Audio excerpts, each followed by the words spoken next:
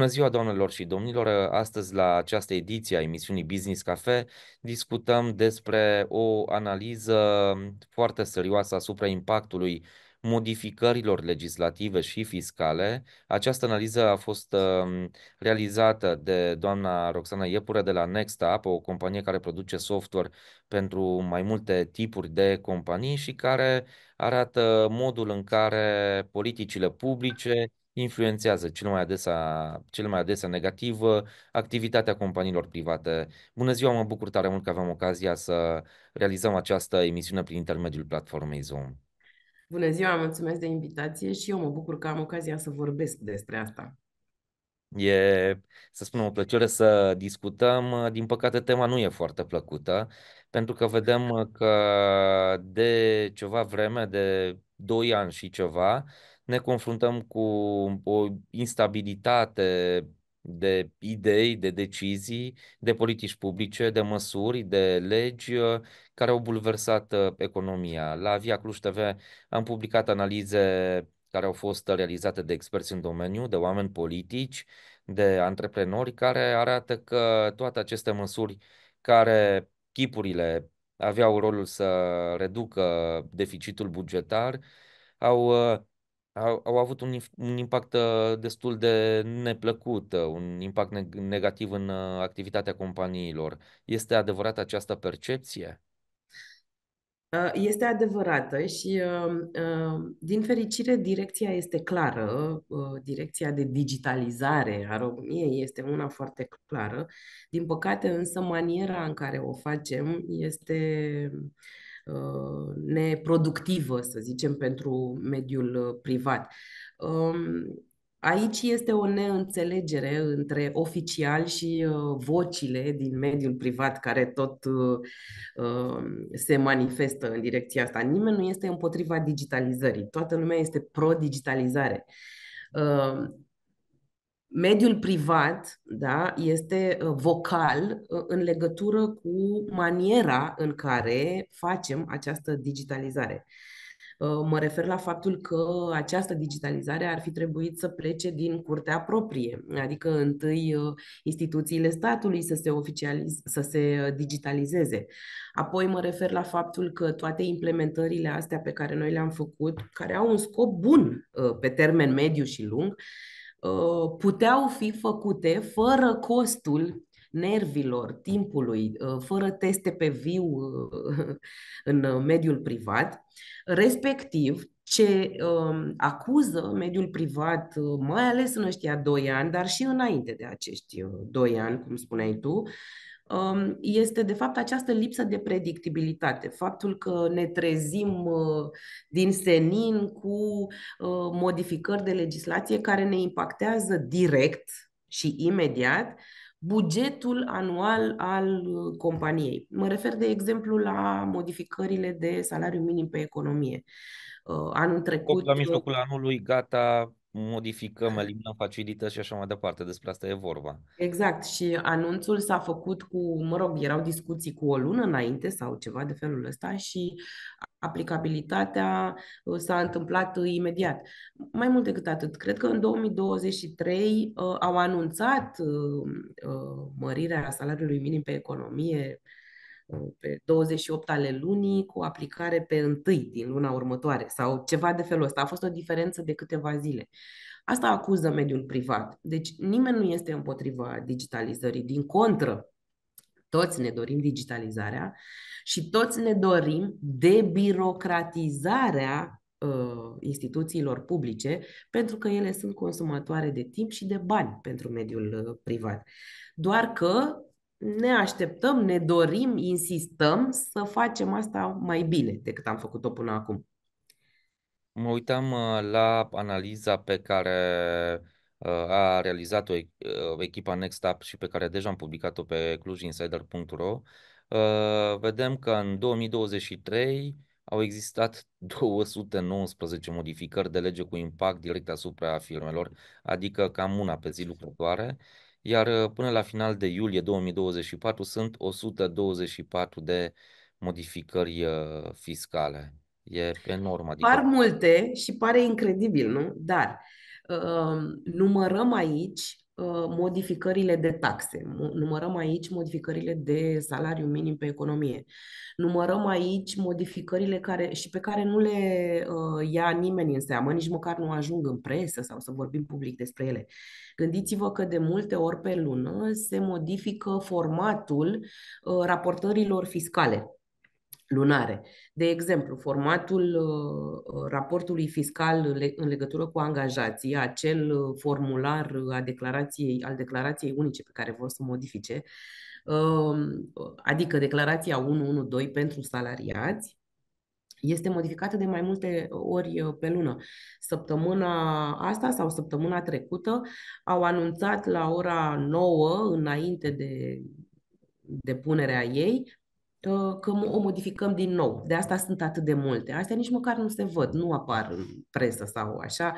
Noi ne-am și obișnuit cu ele, de exemplu, în legătură cu uh, declarația asta 112, uh, uh, softul nostru de salarizare este web-based și este adevărat, noi am putut să o implementăm de pe o oră pe alta, nu de pe o zi pe alta, adică în două ore modificarea era într-adevăr mai mică, a fost uh, la dispoziția contabililor care aveau un deadline să depună declarațiile. Dar asta se întâmplă foarte des.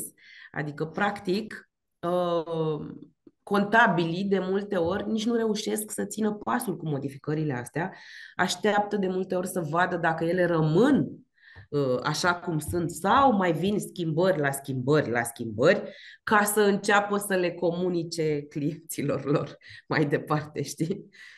Da, practic mi-a plăcut uh, din analiză fraza care spune că digitalizarea la stat în ultimul an a însemnat pentru contabil stres și mai multă muncă manuală, pe care, din păcate, softul nu poate să o preia întotdeauna. De exemplu, acele note explicative de, de TVA pe care contabilii vor trebui să le întocmească de mână. Deci asta e digitalizarea cu pixul uh, sau cu creion da. Uh, în mână din nou, sunt împotriva modului în care noi o facem, pentru că nimeni nu este uh, împotriva transparenței datoriei fiscale pe care contribuabilul o are. Însă să stai să completezi de mână acele note contabile pentru că, de fapt, instituțiile de stat nu au toate informațiile, că asta e realitatea. Noi suntem în curs de digitalizare acum. De exemplu, uh, la e-factură, în momentul ăsta, noi nu avem informații despre toate facturile din, uh, din țara asta, despre bonuri fiscale și așa mai departe. Asta face ca uh, la ETVA să apară diferențe cu siguranță, adică nu e un dubiu, nu e o speculație. Vor apărea diferențe între ce informații are statul despre contribuabilul pentru care ține contabilul contabilitatea și ce informații există în contabilitatea contribuabilului respectiv. Adică ce vor ei este ca uh, uh, ei să ceară niște explicații acolo unde nu au informații complete. Că acolo unde statul nu e potent, trebuie ca noi să venim cu resurse suplimentare, costuri și așa mai departe, ca să suplimentăm această lipsă de informare. Și cum spuneai tu mai devreme, și um, uh, abordarea e greșită. Adică nu poți pleca de la premisa că tot contribuabilul român este uh, uh, are intenția de a uh, uh, ascunde bani de stat, de către, frauda. de a frauda, exact. Ă, pentru că dacă faci asta, de fapt, toată legislația română este punitivă, ea nu este preventivă. Dacă era preventivă, inclusiv pe e-factură, făceam niște cursuri, informări înainte să implementăm e-factură, făceam niște teste înainte să implementăm e-factură și așa mai departe. Deci e punitivă, nu este preventivă. Mă rog, am mai întâlnit abordarea din partea antreprenorilor care spun că este total neproductiv să introduci modificări în mijlocul anului fără niciun fel de planificare, pentru că bugetele sunt făcute la începutul anului în baza datelor care există atunci. Nimeni nu poate să uh, previzioneze, să bugeteze o trăznaie care îi trece prin cap uh, unui ministru sau altuia. Exact, această lipsă de predictibilitate și aici uh, oficialii cred eu că ar trebui să facă efortul să înțeleagă aspectul ăsta Um, această lipsă de predictibilitate uh, duce la lipsa investiției. Practic, mucă, mută focusul antreprenorului, business ownerului, de pe creștere pe supraviețuire. Și asta înseamnă că nu cresc. Asta înseamnă că nu cresc cifrele lor de afaceri, asta înseamnă că nu vor crește nici taxele la stat. Adică, practic, dacă eu mă lupt să supraviețuiesc, dacă eu nu fac investiții deștepte, pentru că uh, mă străduiesc uh, să țin pasul, nu știu ce costuri suplimentare o să am până la sfârșitul anului sau poate chiar de luna viitoare, uh, nu o să mă concentrez pe a-mi crește business-ul. Este foarte, foarte nociv, foarte nociv. Și ca să citesc din nou din uh, analiza Next Up, uh, numai în primele patru luni ale anului, peste 32.000 de firme, adică 8.000 pe lună, și-au închis activitatea cu 44 uh, la sută mai multe decât în 2023. Asta este rezultatul politicii fiscale Da, aplicate de uh, da, actuala da. guvernare. Exact. E tactică Firme se închid în fiecare an, dar normal. creșterea de anul acesta este una, mă rog, serioasă, zic eu, și care ar trebui să tragă un, un uh, semnal de alarmă oficialilor. Uh, Ce uh, recomandări ar fi de făcut uh, pentru oficiali? Eu am întrebat mai mulți antreprenori și concluzia generală a fost uh, nu cerem ajutor, dar cerem să nu ne mai încurce. Cam asta a fost uh, concluzia generală. Eu o să fiu și mai concretă de atât. Uh, Ziceam mai devreme că prima mea recomandare este ca digitalizarea asta să se facă din curtea proprie, dar nu pe hârtie și nu de ochii Uniunii Europene, ci să fie o digitalizare pe bune. Adică um, această centralizare a informațiilor fiscale despre contribuabil trebuie să se întâmple, să se întâmple și toți o vrem. Digitalizarea din curtea statului ar trebui să se facă prin um, echiparea cu uh, soluții digitale a tuturor instituțiilor de stat, mai ales cele care sunt în relație cu contribuabilul. Echiparea cu infrastructuri potente care să nu încurce contribuabilul la depunerea de declarații, la trimiterea ei facturii și așa mai departe. Anul ăsta și anul trecut a fost un haos din punctul ăsta de vedere. Servere care picau pe 25, contabili care o luau razna uh, pentru că nu puteau să-și depună declarațiile, riscau amenzi, nici măcar amenziile în situații de genul acesta nu sunt prevăzute legal. Noi nu știm ce să facem dacă statul nu ne dă posibilitatea să depunem declarațiile și deci nu e vina mea a contribuabilului. Nu avem mențiuni legislative. Uh, o altă sugestie este um, uh, de modificări uh, legislative, în primul rând cu norme de aplicare clare și care să fie adaptate realității din teren. Nu, da? Eu înțeleg și toți știm că uh, vrem să scădem deficitul bugetar. Au anunțat săptămâna asta că a ajuns la peste 4%. Știm că ăsta este scopul, însă uh, asta nu trebuie să se facă pe, pe cost, cu costul mediului privat. Um, deci, norme de aplicare foarte clare, um, apoi o predictibilitate a modificărilor de legislație, adică o planificare.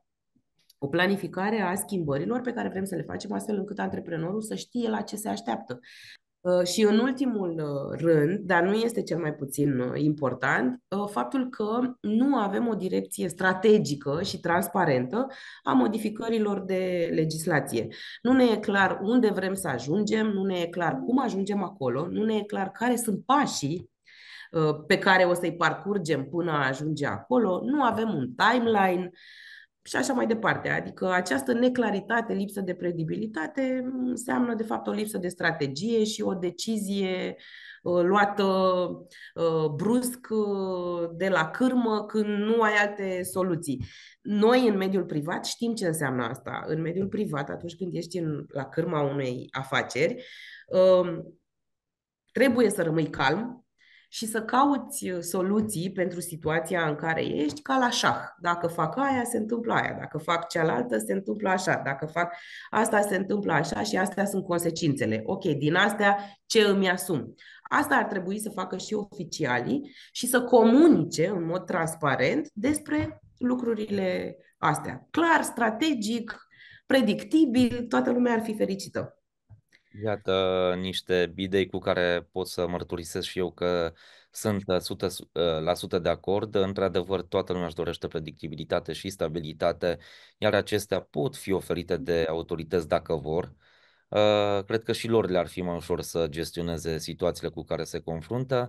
Uh, și însă... foarte important, nu ar mai avea politicienii, oficialii, nu ar mai avea o imagine atât de negativă, așa cum se întâmplă acum. Pentru că lucrurile trebuie să se întâmple. Digitalizarea trebuie să vină. Da? Vine, oricum vine. Dar dacă maniera asta măcar ar fi transparentă și predictibilă, nu, lucrurile nu ar sta așa cum stau acum. Uh, din nou, sunt de acord și cu această idee. Nu, nu cred că ar exista o persoană rațională care să conteste justiția acestor uh, idei. Rămâne să vedem și cum le vor putea pune în practică autoritățile române. Mulțumesc tare mult uh, până, până la data viitoare pentru aceste remarci. Le mulțumesc și celor care ne-au urmărit. Dragi prieteni, ne vedem pe net.